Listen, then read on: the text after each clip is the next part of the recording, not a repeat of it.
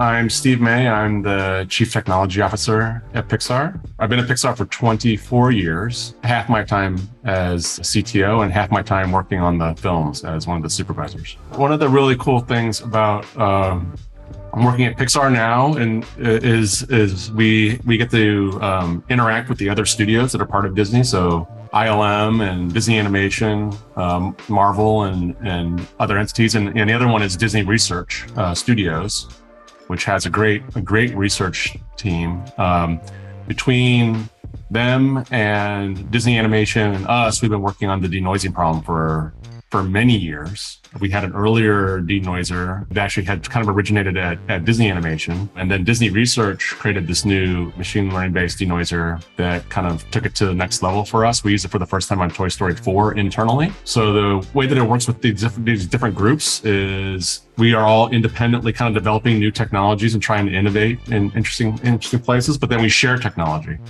So if we develop something at Pixar, we freely share it with the other studios. We share it with Disney Research. We also do joint efforts with Disney Research. In this case, Disney Research led the core, the core technology for this new denoiser.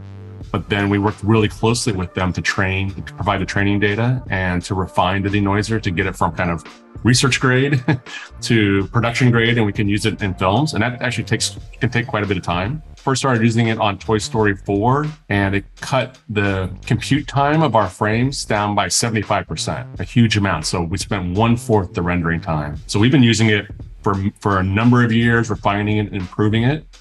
And the nice thing now is we can also now we can include that now with RenderMan. Now that it's kind of mature and we feel good about it, we can include it in, in RenderMan so that anyone who uses RenderMan will have access to it. It's kind of mind blowing how refined of an image it can produce with such a small number of render samples. We push the knob really far just to see how good it can be, and sometimes you can't even tell what's in the image. It just looks like almost sometimes just random pixels, and then we put it through the denoiser, and you actually get something that looks like a final rendered image out of it. We discuss inter- internally with the, our partners. Like like Disney Research and, and the other studios, like what things we want to share externally, whether it's open source or it's commercial RenderMan. But that was a fairly straightforward conversation. Everyone felt like, yes, there's an obvious benefit to RenderMan's users to have this feature and we should do it. So then it's mainly just some work on the on the RenderMan side to really productize it so that it is, you know, when we when we transfer it to production, it's still got lots of kind of Pixar specific things in it. And so it's really just a matter of making it more more generalized and uh, cleaning up the front end as far as the user goes, and then packaging up that so it can be sold as a, a software product with RenderMan. Our full focus on that team is to replace RIS with the new XPU renderer.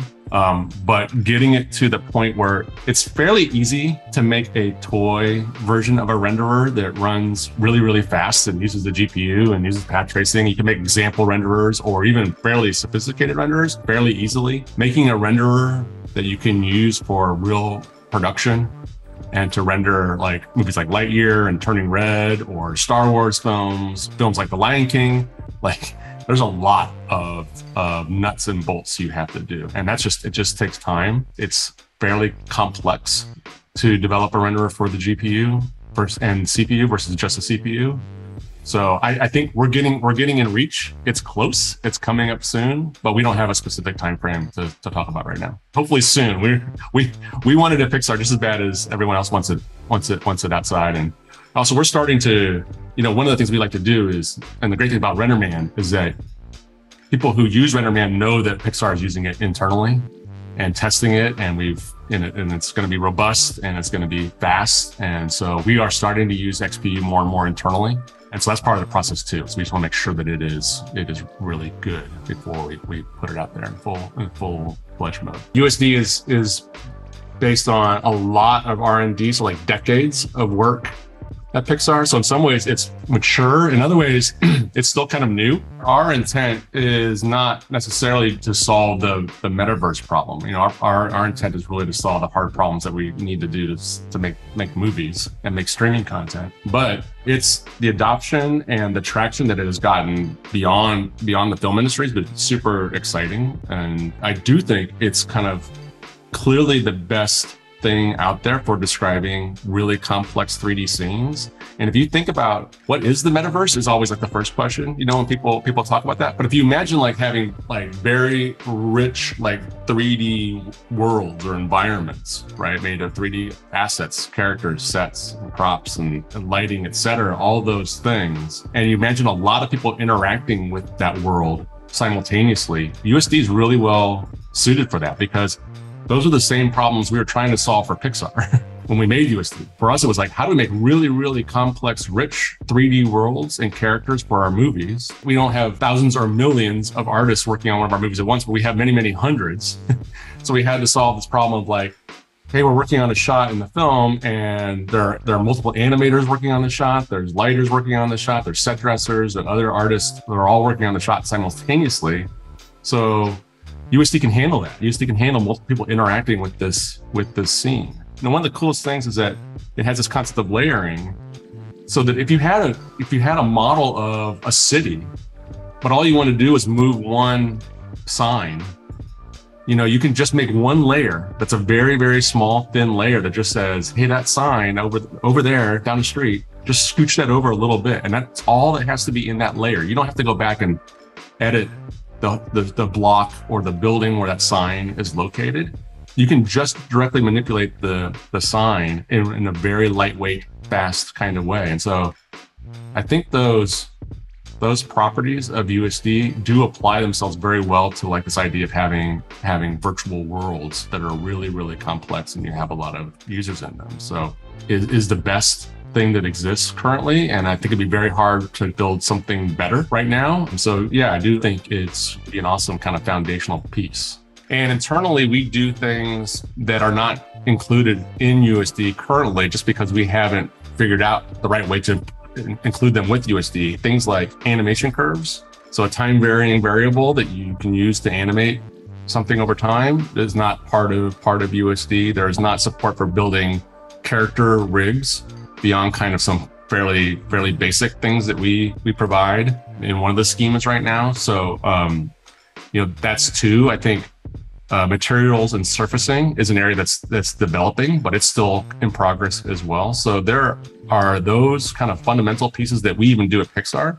And then when we talk to people in in gaming or people that do more interactive kinds of experiences, you know, they give us another list of you know, here's other things we'd want to do to support interactivity and real time uh, that we don't uh, have yet in USD uh, as well. Things like level of detail. So there's actually, it's still kind of early days, I think, as far as USD goes, as far as figuring out everything else that we do need to add to it. There's a lot actually.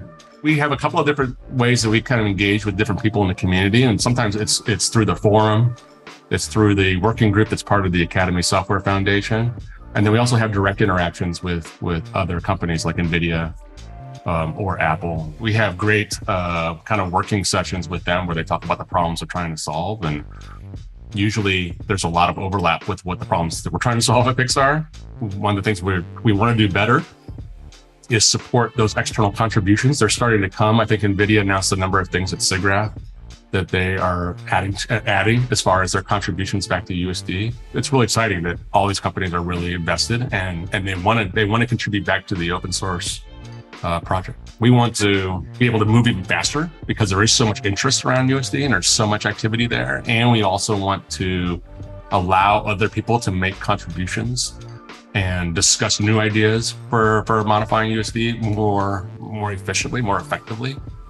Um, our engineers are super busy trying to respond to community requests and also develop the software themselves and, and evaluate new specifications and new features. So the goal is really kind of beef that team up so that we can do all those things better. And we're probably going to increase it by three to four times its current its current size. Omniverse, we're very appreciative and excited about the fact that NVIDIA has built this platform on top of USD. And it really is a, a, a platform then that you can do so much more on top of it. Uh, we are not currently using it at, at, at Pixar because we already have fairly sophisticated ways for us to share our data between our apps and across our users. But what I find really inspiring about it is the way that Omniverse is enabling a lot of other industries to use USD to solve problems. So the expanse of of domains that NVIDIA covers with Omniverse is, is huge. I only know like this much, but the fact that they're using they're using it to help optimize the construction of say manufacturing plants,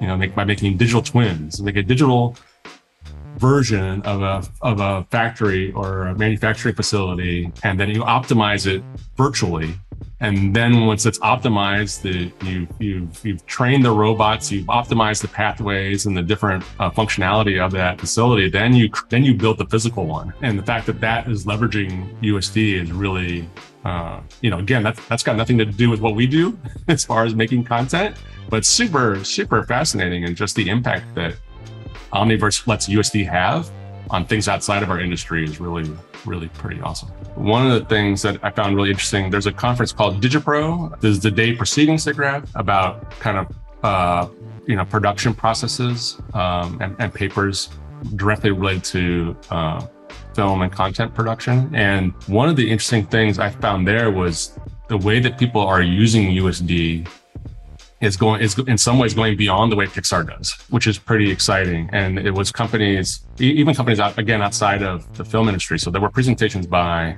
for example, uh, Netflix and Animal Logic. But there were also uh, uh, a presentation by Ubisoft. Large companies and the way that they're using USD to automate their content delivery uh, infrastructure was was super interesting. And I think it's so this was kind of like pipeliney kind of stuff, you know, not necessarily like, hey, this is going to a way to make a new visual that you'll see on the screen, but a way to automate the processes of data and imagery and and, and uh, video moving through their pipelines, especially companies that have lots of content producers.